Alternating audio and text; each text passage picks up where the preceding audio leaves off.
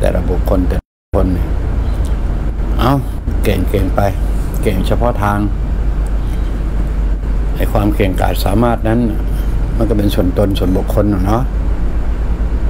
เมื่อเวลาส่วนตนเป็นส่วนบุคคลมนุษย์ก็อยู่คนเดียวไม่ได้เนี่ยมันก็ต้องเกี่ยวข้องมองใจอยู่กับมนุษย์หลากหลายทั้งอยู่ใกล้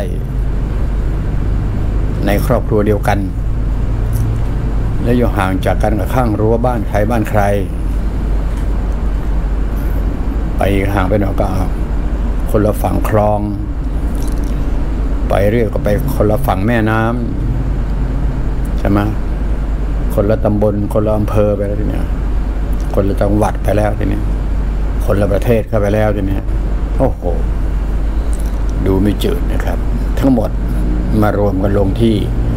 เรื่องสุขภาพสุขภาพนะครับมาปัญหาที่ผมว่าใหญ่มากๆนะวันนี้มันออกไปอย่างมุมกว้างมาก จะบอกว่าเป็นแนวราบ มันก็ไม่ผิด เพราะมันไปแนวกว้างด้านกว้างออกแนวราบเป็นทั่วไปทั้งหมดเลยสิ่งนั้นก็คือเรื่องราวของผมจะเรียกกันว่า โรคไฮเทคนะครับ โรคใด ๆ ที่เกิดขึ้นกับมนุษย์ มันเกี่ยวข้องมองใจอยู่กับเทคโนโลยี พอเวลามาพูดถึงเทคโนโลยี มาวันนี้ฮะมันหนีไม่พ้นในเรื่องของคลื่น คลื่นแม่เหล็กไฟฟ้า คลื่นไฟฟ้าแม่เหล็ก จะอยู่ใกล้อยู่ไกล ไม่มีใครรอดเลยนะครับ ในเรื่องคลื่นเนี่ย ปัญหาเรื่องโรคไฮเทคนี่เป็นเรื่อง หนักหนาสากันมากนะพี่เอ้ยน้องเอ้ยญาติโกโหติกาเอ้ยโลกใบนี้ ไม่มีไฮเทคโนโลยีก็ใช้กันไม่ได้ ก็อยู่ด้วยกันไม่ได้ เมื่อเวลาเกิดขึ้นมาแล้วทำไงล่ะ จริง ๆ แล้วไม่มีใครที่จะ รอดพ้น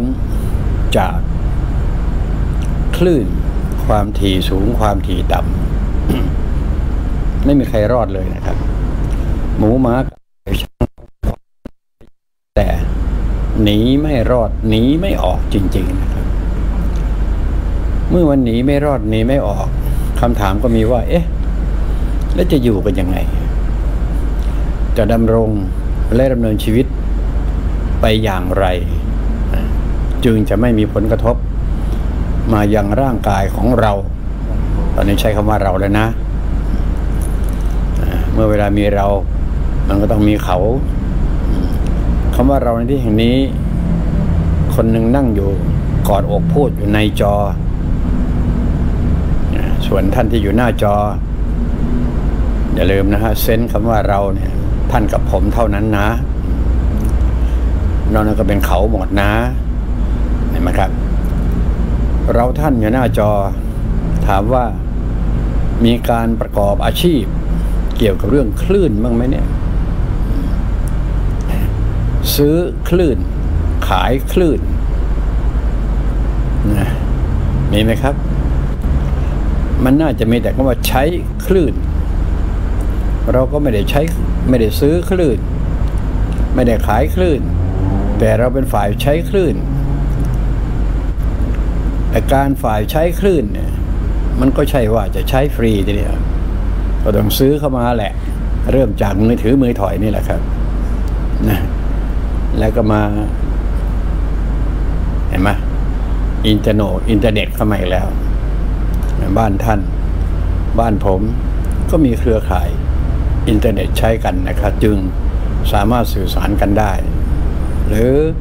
ถ้ามันมีอินเทอร์เน็ตมันก็เป็นแพ็กเกจหนึ่งอยู่ในนู่นนะอยู่ในมือถือนู่นนะใช่ไหม ใช่นะ เออ มือถือทุกวันนี้เขาใช้ว่า 4G นะพอ 4G ปุ๊บมันก็มาเกี่ยวข้องกับอินเทอร์เน็ต บางท่านบางก็ซื้ออินเทอร์เน็ตมาใช้ในบ้านโดยตรงเลย จะกี่กิ๊กนะฮะจะกี่เท่ากับเท่าไหร่ก็ไม่รู้กี่เม็กอะที่ที่นั่งกล้าวเนี่ยใช้ร้อยแม็กนะฮะ ร้อยแม็กมันทั้งรับทั้งส่ง ก็ด้วยความเร็วด้วยความแรง แพงก็แพงอยู่หรอกครับนั่นก็ต้องทำถ้าไม่ทำก็ไม่สามารถที่จะคุยจากบ้านลุงออก มาถึงบ้านท่านได้ เห็นไหมส่วนบ้านท่านถ้าหากว่าอินเทอร์เน็ตมันอ่อน หรือว่าแรงไม่พอ มันก็จะล้ม ความถี่ภาพมันก็จะเบลอเสียงมันก็จะขาดขาดหายหาย นี้เป็นต้นนะครับแต่ถ้าหากว่ามันแรงแล้วก็น่าจะถึงกันได้โดยทั่วไปนะครับ ไม่ว่าใครก็ตามที่อยู่ในโลกใบนี้นะครับในการสื่อสารขแนงนี้มันไปทั่วโลกกันแล้วจ้ามัวแต่นั่งบนนั่งทำอะไรอยู่เนี่ยไหวหรือจะไปต่อในชีวิตเนี่ยนะครับ กลับมาถึงเรื่องเรื่องที่เป็นเรื่องใหญ่มากก็คือเรื่องสุขภาพร่างกายมนุษย์เราเนี่ยครับ เรื่องคลื่นเนี่ยโอ้โหเลยถ้าจะถามว่าคลื่นเนี่ยนะมันจะเริ่มมาตั้งแต่วิทยุนะครับสถานีวิทยุ FM สถานีวิทยุ AM ก็แปลว่ามันเกี่ยวกับเครื่องส่งไอ้เจ้าเครื่องส่งเนี่ยมันก็จะมีการ ผลิตไฟฟ้าไฟฟ้าแม่เหล็กแม่เหล็กไฟฟ้าเนี่ยครับที่มีความแรงสูงมากนะครับมันถึงจะส่งมีแรงส่งกระจายเสียงจากยอดเสาต้นเสาสูงๆเนี่ยครับ ไปยังมายังบ้านท่านบ้านผมเนี่ยครับมันส่งมาจากนู่นสถานีวิทยุนู่นเดี๋ยวไหนก็ไม่รู้แหละครับ ส่งมาในอากาศ มาเจอในบ้านท่านบ้านผม แล้วก็ฟังกันเพลิน จะเป็นร้องรำทำเพลง จะเป็นโฆษณาขายสินค้าต่างๆนะก็เอ้ายุควิทยุ AM transistor transistor นั่นแหละครับเขาก็มีเพลงให้ร้องกันนะจากนั้นมาก็เจริญเติบโตมาเรื่อยๆนะครับจนทั้งมีโทรทัศน์ ขาวดำสี ทีนี้เครื่องส่งสถานีโทรทัศน์ยิ่งหนักข้อไปทีนี้รุนแรงนะครับไอ้ตรงนี้นะฮะใครไม่ได้อยู่ใกล้ เสาอากาศ เป็นเครื่องส่งวิทยุและโทรทัศน์จะไม่รู้หรอกว่ามันมีผลอะไรอยู่สำหรับคนที่อยู่ใกล้นะง่ายๆว่ามันรุนแรงขนาด ถ้าเรามีหลอดไฟฟ้ายาวๆนะ เขาเรียกอะไรหลอดนีออนนีออนฟอเรสเซนอะไรเขาที่เขาเรียกคานกัน ไม่ต้องมีสายไฟนะ เอาหลอดนี่ไปติดไว้ที่ต้นเสานะหลอดไฟสว่างจ้าขึ้นมาเลยนะครับอันนี้คือความแรงของคลื่นที่ว่าเนี่ยสว่างจ้าขึ้นมา เห็นจ่าๆเนี่ยครับนั่นนะฮะมันบ่งชี้ให้รู้ว่าใครก็ตามที่อยู่ใกล้ต้นเสาส่ง วิทยุและโทรทัศน์ เจอครับรัศมีส่วนมากแล้วก็ให้รัศมีห่างกันประมาณสักห้าสิบเมตรร้อยเมตร อย่าเข้าใกล้ประมาณนั้นนะครับ ทางสถานีเขาจะมีมาตรฐานทางนั้นเอาไว้เอาไว้ ไม่ให้ผู้ใครเดินผ่านในตรงนั้น เขาก็รู้ว่ามันอันตราย ทีนี้พอเวลามันเกิดขึ้นมาแล้วนะฮะมันก็กระทบกรเทือนกับชาวบ้านล้านถิ่นมาถึงวันนี้ถ้าเป็นเสาเครื่องส่งไอ้มือถือมือถอยเนี่ยครับโอ้โห เท่ากับเท่าไหร่ไม่รู้ใช่ไหมครับ เรื่องอย่างเงี้ยฮะมันเป็นเรื่องของโรคภัยไข้เจ็บมันมาหาถึงเราถึงที่นอนหมอนมุ้งเราเสร็จสับโดยจะไม่รู้ตัวเห็นไหมนั้นคนที่อยู่ใกล้ ก็มีโรคภัยไข้เจ็บ โรคที่ว่านั้นมันก็เริ่มต้นจากนอนไม่หลับนี่แหละครับหูแว่วนี่แหละครับนี่เห็นไหมปวดเนื้อปวดตัว ปวดแขนปวดขาปวดหัวปวดเหตุ ปวดหลังปวดไหล่ไม่รู้คำว่าปวด ทีนี้คนที่ไม่รู้ไม่เข้าใจ เมื่อเวลาปวดก็กินแต่ยาเคมีทีนี้เห็นไหมกินมันก็น่าเห็นใจครับ ทางฝ่ายวิชาการ ก็ไม่มีใครจะมาพูดเรื่องว่า เออ โรคต่างๆมันเกิดจากไฮเทคโนโลยีนะ ไม่มีใคร ผมก็ว่ามีลุงหอกคนเดียวในแผ่นดินสยามแห่งนี้พูดเรื่องนี้นะครับนะเออลุงงอกคนเดียวแงเรื่องนี้ครับใช่ไหมครับ เมื่อมันหนีไม่ออกบอกไม่ได้เขาก็มีวิชาของวิชาการชาวบ้านนั้นเถก็ร่ำร้องเรียกร้องว่ามันอันตรายอันตรายให้ฝ่ายวิชาการ จะเป็นมหาวิทยาลัยนู่นนี่นั่นก็มาตรวจสอบเขาก็บอกว่าไม่อันตราย เอาง่ายๆก็แล้วกัน ผู้ผลิตก็แล้วกันนะทางวิชาการทางวิชาเกิน ถ้าเขาว่า ถ้าเขาบอกว่ามันอันตรายเขาประกอบอาชีพได้ไหมครับ มันไม่ได้เนาะยาเหมือนกันนะครับ กินยาทุกวันเนี่ย ถ้านายแพทย์นางแพทย์นางสาวแม่เขาบอกว่ามันไม่ดีหรืออันตรายเนี่ย ใครจะไปกินยา ใครจะไปหาหมอหาหมอ เห็นไหมมองให้ออกไหมครับมันเป็นเครื่องมือไงมันเป็นเป็นเครื่องมือทางธุรกิจการค้า อืม โลกใบนี้ไม่มีธุรกิจการค้าก็ไม่ได้ เรื่องเศรษฐกิจ เรื่องการค้า มันก็ไม่ได้นะครับ เพราะฉะนั้นเมื่อเวลาไปฉะนั้นถามว่าจะอยู่ยังไงการคำตอบสุดท้ายไม่ต้องต่อรองครับ อยู่อย่างความเข้าใจ ราะฉะนั้นเข้าใจเข้าใจเรื่องอะไร นี่เล่าให้ฟังกว้างขวางมาแล้วนะฮะเข้าใจเขาเป็นเช่นนี้โอเคนะเราก็หนีไม่ออกเพราะอยู่ในท่ามกลางของสิ่งนั้นเห็นไหมเพราะั้นเมื่อเวลาเข้าใจเขาเป็นเช่นนั้น การที่จะป้องกันกับสิ่งเหล่านี้ได้หนึ่งเราต้องเข้าใจเขาเสียก่อน เมื่อเขาหยุดไม่ได้ แล้วเราต้องอยู่ให้ได้เนี่ย คำว่าเขาหมายความว่าการค้าการลงทุนนะนะเขาหยุดไม่ได้ เพราะเป็นความเจริญของโลกใบนี้โอเคนะ เมื่อเขาหยุดไม่ได้ เราจะอยู่กันอย่างไร ก็ต้องมาถามตัวเรานะบ้านเราดทีวี จะหาวิธีช่วยได้อย่างไรเห็นไหมมันก็มาถึงตรงนี้ มันมันก็ไม่เจอกันสิมนุษย์เลยครับ ระหว่างท่านอยู่หน้าจอกับผม ก็แปลว่าเป้าหมายนี้จุดมุ่งหมายถ้ามันตรงกัน มันก็ไปต่ออีก วันพวกนี้บริเวณนี้ปีหน้าปีห้าปีสิบปีว่าไป เอาละเรามาถึงจุดที่มันจะช่วยกันแล้วนะว่านะอย่าลืมนะครับว่าอีกนิดหน่อยอีกนิดหน่อยไอ้ที่บอกว่าเสาอากาศสูงสูงที่เป็นเครื่องส่ง มันรุนแรงมาก ถ้าหากว่าเราเดินเข้าไปหาต้นเสา ถามว่ามันจะมีปฏิกิริยาไหม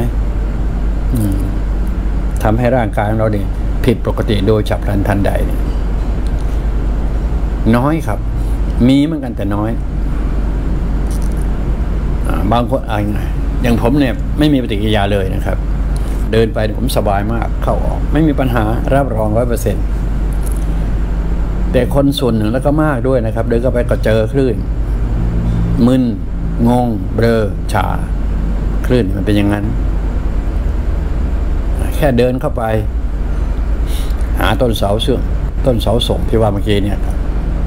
นะแค่เดินเข้าเดินออกดีดีหน้ามืดเลยครับ แต่ดูงอกไม่เป็นไรแน่นอนนะครับแปลว่าดูงอกมีอะไรดีหรอเด้อมีมีอะไรดี ดีเรื่องอะไร ดีเพราะเรื่องเราสามารถผลิตพลังงานของเรา ตัวเราเนี่ยครับ เราสามารถเอาลูกงอกก็แล้วกันลูกงอกสามารถผลิตพลังงานในตัวลูกงอกเนี่ยออกมาต้านกับคลื่นนั้นได้ นี่คือความมหัศจรรย์นะมันต้านมันต้านกับคลื่นนั้นได้ คนไหนที่เคยดูหนังในพวกไซไฟนี่นะครับ เขาจะเรียกสิ่งนั้นว่านะชื่อนะฮะม่านอะไรมาเรียใช่ไหมบาเรียบาเรียม่าน นึกซะว่าเอาสุ่มมาครอบตัวเองอะโอเคไหมเอาสุ่มมาครอบสุ่มไก่อะนะมันจะป้องกันไม่ให้คลื่นนั้น เข้ามาหาตัวเรา เพราะเรามีพลังของเราออกไปต้านมัน มันก็เหมือนเป็นกั้นให้เสร็จสับตัวนี้สำคัญนะฮะสิ่งเนี้ยมีลูกงอกพูดเดียวคนเดียวแน่นอนในแผ่นดินโลกอะไรนะอ้าวเอามันยังไงกล้าพูดด้วย แล้วก็เชื่อมั่นว่ากล้าท้าทายด้วยอะมีลูกงอกหนึ่งเดียวเท่านั้นที่พูดเรื่องนี้ ยกเว้นหนังเมื่อกี้เนี่ย หนังเขาก็ทำมาให้ดู คนไหนที่มีความไหวพริบกับสิ่งเหล่านี้ เออ มันจริงสิเว้ยจริงสิว่า มันมีกี่คนที่เข้าใจตรงที่ว่าม่าน barrier ที่ว่าน้อยคนส่วนดูหนังก็ดูเฮฮาปาร์ตี้ไปหน่อยจับประเด็นไม่ค่อยจะได้กันแล้วครับ อะไรแต่ไม่อะไร เพราะบางคนดูหนังก็ดูเพื่อการศึกษานะครับ อืม นอกจากจะเฮฮาปาร์ตี้ ก็ดูเพื่อการศึกษา step แรก ฉากแรก ละครตัวแรกสองสามเนี่ยเขาพูดแล้วก็ทำไงเนี่ยบางคนก็จะดูหนังดูเพื่อการศึกษาครับแล้วก็ได้ผลด้วยนะครับ เพราะว่าการเขาทำหนังขึ้นมาเนี่ยมันการลงทุนสูง เมื่อการลงทุนสูงแล้ว ถ้าหากว่ามันไร้ค่านะไม่ได้นำสิ่งใดๆเป็นประเด็นสำคัญให้กับผู้คนเป็นผู้ดูผู้ชมเลย มันก็ไปต่อไม่ได้ เพราะฉะนั้นก็ถือว่าเป็นเบรนชนิดที่ค่อนข้างไม่ธรรมดาในเรื่องหนังนะครับนะได้หลายอย่าง โอเคผ่านไป กลับมาไอ้ม่านบาเรียที่ว่าเนี่ยนะครับทีนี้ถ้าหากว่าเราตัวเราเองตัวเราเขามาเราแปลว่าท่านกับผมนะ ผลิตพลังงานที่อยู่ในตัวเนี่ยออกมาเยอะๆ เพื่อที่จะป้องกันคลื่นเหล่านั้นเห็นไหมครับ แล้วก็อยู่ได้สบาย คนอื่นเขาไม่ได้คือไม่ได้ แต่เราทำได้ เมื่อเราทำได้ตัวนี้มันคือพลังงานอะไรเพราะเนี่ยพูดจังพลังงานที่บริสุทธิ์ซ่อนอยู่ในตัวเราเนี่ยมันอยู่ส่วนไหน อยู่ที่ขั้วหัวใจห็นไหมครับหัวใจเราเนี่ยคือโรงงานไฟฟ้าที่ผลิตไฟฟ้าสถิต ถามว่าทำไมเวลาผมเดินเข้าไปในต้นเสาที่มีแรงส่งสูงๆเนี่ยครับมันไม่เป็นไร เพราะพลังงานไฟฟ้าสถิตในร่างกายลุงหงอกมันมีเยอะ มันสามารถที่จะดันหรือว่าต้านไฟฟ้ากระแส คลื่นไฟฟ้ากระแสเนี่ย มันต้านกันได้ มันจึงไม่มากระทบตัวลุงหงอเห็นไหมครับ คนไหนไม่มีหรือว่ามีน้อยอ่อนแอสุดขาพับสุดเลยนะครับเดินเข้าเราไม่กี่ครั้งนะหายใจจะไม่ทันเอาซ้ำไป ไม่ได้เรื่องพูดเล่นๆนะพี่เอ๋ยเรื่องนี้นี่เดี๋ยวผมบอกว่า ต่อไปนี้สงครามมันจะเป็นสงครามคลื่น สงครามคลื่นผมก็พูดจังเรื่อง ลองคิดดูง่าย ๆ ว่า ไอ้แค่ต้นเสาที่มันส่งมามันรุนแรงขนาดนั้น ถ้ารูปแบบของสงครามทีนี้เอายิ่งทุกวันนี้เครื่องบินไม่มีคนขับเขาเรียกวันโดรนเนี่ยครับ เห็นไหมฮะวันดีคืนดี มันมามุมมืดเมื่อไหร่ก็ไม่รู้แล้วครับ กดปุ่มนุ่นมาจากซีกโลกไหนก็ไม่รู้ มันดูแผนที่ได้หมดเลยนะให้รู้ไว้กูก้องกูเกิลเนี่ยพวก GPS มันดูได้หมดจริงๆนะครับ มันจะลงตรงไหนได้หมดอะ เอาละเซซะว่า ท่านกับผมนอนหลับอยู่ ไม่รู้คนในประเทศไทย คนในประเทศมันหลับ มันเป็นเวลาหลับมันต้องหลับกันเนาะเออ นั่นแหละฮะเขาอยู่ในสูงสูงสูงจากพื้นดินประมาณสักสองกิโลเมตรนี่อะอ่าสองกิโลเมตรอ่าแล้วก็ปล่อยคลื่นลงมาแบบจอมแหเนี่ย เสร็จมาลากกักไม่ต้องลุกกันเลยนะให้รู้ไว้ มันรุนแรงขนาดนั้นพี่เอ๋ย ผมมองเห็นตรงนี้นี่คือสงคราม สงครามคลื่นนะอ่าทีนี้ถ้าหากว่าเราพวกเราเจ้าค่อยไม่ไม่ไม่เข้าใจ หรือไม่พยายามเข้าใจเรื่องของพลังงานจิตในตัวเราเองเนี่ย ดึงออกมาดูออกมาสู้กับคลื่นนั้น โดยปริยาย อย่าลืมนะครับ เวลาเราหลับแล้วไม่มีสตินะครับใครจะมาทำอะไรต่างๆ ไม่รู้เรื่องรู้ราวนะครับ ไม่รู้ เวลาหลับ ขนาดเวลาตื่นตื่นนั้นเดินเนี่ยขาพับเลยนะครับ มันรุนแรงขนาดนั้นครับ ขับรถเนี่ยมันอ่อนเปรี้ยเพลแรงสังเกตไหมฮะหลังๆมันนี่มีโรคอ่อนแรง โรคอ่อนแรง ที่เขาเรียกว่าสโตรกสโตรกนั่นนะครับไอ้สโตรกภาษาหมอภาษาแพทย์ อยู่ๆก็อ่อนปึ๊บลงไปเลยครับ ปากเบี้ยวทันที เสร็จแล้วก็บอกว่าเส้นเลือดในสมองตีบตันไปนู่นเลย ไปนู่นเลยแหละเส้นเลือดในสมองมันตีบตันเพราะอะไร เพราะหัวใจมันทำไม่ทำไม่ทำงาน หัวใจมันไม่มีแรงบีบเลือด อืม มันไม่มีแรงบีบ แรงบีบ รู้จักคำว่าบีบไหมเนี่ยบีบ เมื่อมีเมื่อหัวใจมันบีบตัวปุ๊บความความดันของเลือดมันจะพุ่งตรงไปยังปลายทาง จะเป็นเส้นเลือดใหญ่เส้นเลือดเล็กมันก็ไปตามช่องทางนะฮะ เส้นเลือดใหญ่มันก็เหมือนกับท่อน้ำประปาเนี่ยท่อเมน เส้นเลือดเล็กก็ต่อเข้าบ้าน บ้านใครใช้แค่หนึ่งนิ้วหนึ่งนิ้วครึ่งสองนิ้วสามนิ้วก็แล้วแต่พื้นที่หน้าตัด มันใช้มากก็ใส่ท่อใหญ่หน่อยประมาณนั้นนะครับนะแล้วก็เป็นอย่างนั้นไป เพราะฉะนั้นเส้นเลือดก็เหมือนกัน มันเข้าไปเล็กเข้าไปในซอยมันก็ยิ่งเส้นเล็กและเส้นลงเส้นลงมันมีความดันมันไม่พอ มันจะไปถึงสมองได้ไงทีเดียวเห็นไหมฮะเขาก็บอกว่าเส้นเลือดอุดตัน จริงๆเนี่ยเริ่มต้นที่หัวใจ หัวใจมันจะอ่อนแอลง อ่อนแอลง อ่อนลง อ่อนลงอ่อนลง เมื่ออ่อนลงแล้วนะฮะมันก็ไม่สามารถปั๊มเลือดไปสู่เซลล์ทุก ๆ เซลล์ไม่ว่าจะเป็นเซลล์สมองหรือจะเซลล์อวัยวะใด ๆ ของแต่ในร่างกายมันก็อ่อนล้าไปเรื่อย อ่อนแรงไปเรื่อยอ่อนเพลียไปเรื่อยเลยครับ เห็นไหมครับ เรื่องอย่างนี้ ยืนยันว่าไม่มีใครมาพูดหรอก ในแผ่นดินสยามแห่งนี้ไม่เคยเจอ และโลกใบนี้ก็ไม่เคยเจอเลยเอาเอาวะหรือว่าใครเจอบอกนะครับ ให้ดูเสียเป็นอย่างหน้าตาเฉยเนี่ยไม่ต้องมีเครื่องทดลองทดลองของแค่นี้นะครับ ใช่ไหมครับ ไม่ต้องไปวิจุวิจัยมันเสียเวลาลงทุนเยอะหรอก เอาเข้าใจในกรอบธรรมชาติ นี่คือระดับปัญญา ถ้าปัญญาไม่ถึงแหลมคมนะไม่มีทางได้หรอกไอ้ตรงนี้ ผมกลับมารู้เรื่องสิ่งเหล่านี้ผมก็เห็นว่ามีประโยชน์ในการที่จะมาบอกเล่าเก้าสิบกันแหละกันเพื่อมนุษย์มันต้องอยู่ด้วยกันนะมันอยู่คนเดียวไม่ได้นะฮะเพราะฉะนั้นไม่ว่าจะเป็นคลิปเรื่องใดๆก็ตามที่อยู่ในบ้านเราดอททีวีมันเสาะมันหมื่นกว่าคลิปเลยครับ สิ่งที่อยากจะให้เน้นหนักให้ดู ก็คือเรื่องสมาธินะติดตามหน่อยครับสมาธิเนี่ยผมว่าผม ผมได้บรรจงจริง ๆ นะการนำพาสมาธิทุกรูปแบบ ผมว่าผมได้บรรจงในการพูดจาจริง ๆ นะครับ ไม่ว่าจะเป็นการปล่อยเสียงพิลึกพิลั่น เข้าหูสู่ใจนี่คือเป็นการกระตุ้นให้หัวใจเนี่ยได้มีกำลังให้มีการทำงานได้มากขึ้น สูบฉีดรัวเห็ดสูบฉีดเลือดได้อย่างดี มีประสิทธิภาพสูงเห็นไหมครับ เรื่องอย่างนี้นะวันนี้มีทางเดียวคือการป้องกันนะครับ ป้องกันโรค ทุกวันนี้เขาใช้คำว่ารักษากันรักษากัน มีเท่าไหร่มันก็รักษารักษาละปีเนี่ยมันจะหายจากใช่ไหมครับมาถึงมันต้องทำลาย คือสลายกำจัดกำจัดพร้อมป้องกันนะครับใช่ไหมครับ เพราะฉะนั้นบ้านเราทีวีสองมือเปล่ารักษามนุษย์ ใครก็ตามที่บอกว่ามีโรคภัยเจ็บนู่นนี่ก็คือมากำจัดมันออกไปแล้วป้องกันอย่าให้มันมาอีกกำจัดมันออกไปแล้วป้องกันไม่ให้มันมาอีก เพราะฉะนั้นคำว่าป้องกันนี้ต้องเข้าใจในเรื่องของการที่จะมาทำสมาธิหรือ เข้าใจในสิ่งที่หลวงพ่อเล่านู่นนี่นั่น อะไรต่างให้ฟังกัน เอาเข้าใจมันเป็นพลังนะครับ ความเข้าใจมันเป็นพลังงานให้ด้วยเออเออเออ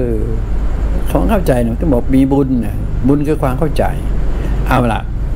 ในเรื่องคลื่นมันเป็นอย่างนั้น มันมองไม่เห็นแล้วก็อ่อนแอไปเรื่อยอ่อนแอไปเรื่อยอ่อนแอไปเรื่อยมันก็บีบรัดเจ็บปวดนู่นโอ้โหสารพัดหน้าวันนี้ ชาวโลกเขาพูดว่าเป็นโรคที่ไม่มีเชื้อนะครับ มันกินวงกว้างมากนะครับ ไม่มีเชื้อเลยครับ เอาเอายุงกัดอายุงลายอามีเชื้อ มันเกิดขึ้นมากี่ทลายปีหนึ่งกี่หมื่นคน แสนคน ไอ้คลื่นไม่มีเชื้อนี่มันทุกทุกคนนะครับ เอาเสียเอาเลยมันหนีไม่ออกเลยนะครับ ทุกทุกคนให้ได้รับเห็นไหมครับ มันไปกันขนาดนั้นนะครับเพราะฉะนั้นถึงบอกว่าบ้านเราดอททีวีเนี่ยจะช่วยผู้คนมนุษย์ได้อย่างมากมายมหาศาลเลยเกินขอให้อะไรนะแชร์กันไประยะนี้นะครับ เดี๋ยวพอเวลาความเร็วคอมพิวเตอร์มาเนี่ยนะครับ มันจะได้ใช้อย่างทั่วถึง ทั้งนี้นั้นก็เป็นการป้องกันเผื่อเวลามีอาวุธคลื่นมาไม่ตายกองกันเนี่ยอ่าเห็นไหมครับนะ มีอาวุธคลื่นมาไม่ตายกองกันเหรออืม ถึงทุกวันเนี่ยมันเล่นกันขนาดติดเนื้อติดตัวเลยนะคลื่นพวกนี้นะครับอ่าเวลาจะคุยกันเจรจากันต่อรองกันเซ็นทีเนี่ยหมื่นล้านแสนล้านปึกปักเห็นไหมครับ ปล่อยปุ๊บหนึ่งงงเลยฝ่ายตรงข้ามงงเลยแหละครับผมไม่ได้พูดเล่นนะพูดระดับที่ top top ให้ฟังกันเนี่ย เรื่องพวกนี้เนี่ยใช่ไหมฮะใครใครจะมาบอกเขามีอะไรนะเพราะฉะนั้นมีทางเดียวคือป้องกันตัวเอง มีทางเดียวเท่านั้นเอง ไม่มีทางอื่นนะครับ ทุกวันนี้เขาไม่ใช้ลูกกระสุนกันแล้วจริงนะเขาใช้คลื่นอย่างเดียว โอ้โห คลื่นผ่านจอมันคลื่นผ่านตัวนี่นะไม่ได้พูดเล่นๆเรื่องนี้ พี่เอ๋ยน้องเอ๋ยญาติโกมุติกาเอ๋ย พอเวลาลุงหอกเล่าให้ฟังลึกๆแหลมๆคมๆแล้วก็ อย่าคิดว่าไร้สาระนะลุงหอกไปกันมองกันไปเยอะแยะแล้วนะ บอกลูกบอกหลานนะฮะ เสียงลุงหอกเนี่ยฟังไว้เถอะลูกหลานฟังไป มันจะเกิดประโยชน์นะครับ จะเสียงสูงเสียงต่ำเสียงใด ๆ ก็ใส่ไว้เถอะอย่าถือสาลุงหอกก็แล้วกันอย่ามารังเกียจลุงหอกจะรังเกียจมันทำไมลุงหอก ผู้ฟังคือผู้ได้ ผู้ดูคือผู้ได้ อันนี้ก็เหมือนกันเนี่ยเดี๋ยวเดี๋ยวเจอมีนักวิ่งเหรอละครเนี่ยนะเขาทำละครอะไรสุดท้ายแล้ปากเบี้ยวใช่เหรอชื่ออะไรไม่รู้ไม่สูบบุหรี่ไม่กินเหล้าสวนเลยแหละครับทำนองเนี้ยครับ มันเหมือนเกิดมาท้าทายฮะในในในลุงสำคัญลูกหลานอย่ามาเป็นตัวอย่างครับ เพราะว่าอย่าอย่าอย่าทำตามนะครับ ลูกหลานเพราะมันแพงนะซองละตั้งร้อยบาทในเวลานี้ผมไม่ได้ซื้อมีคนซื้อมาให้นะครับเดี๋ยวจริง ๆ ก็ช่วยโรงงานยาสูบนั่นแหละช่วยกระทรวงการคลังเวลาเนี่ย ใช่ป่ะใช่ไหมฮะ ใช่ไหมหรือจะว่าไงต่อ ใช่ไหมอืม พูดกันไม่จบหรอกมันวนกันอยู่มันเป็นลูปอยู่ตรงเนี้ย มันไปก็กลับกันอยู่อย่างเงี้ย มันมันหนีไม่ออก เมื่อหนีไม่ออกก็ต้องเข้าใจมันเข้าใจแต่ละแต่ละห่วงโซ่อะไรกันนะแต่ละเปาะแต่ละเปาะเมื่อเข้าใจนั้นก็อยู่ได้สบายๆมันก็ไม่มาเป็นพิษเป็นภัย อะไรกับเราเท่ากับเท่าไหร่นะครับ ก็ฝากฝากกันไว้ครับสำหรับท่านอยู่หน้าจอก็อย่าคิดมาก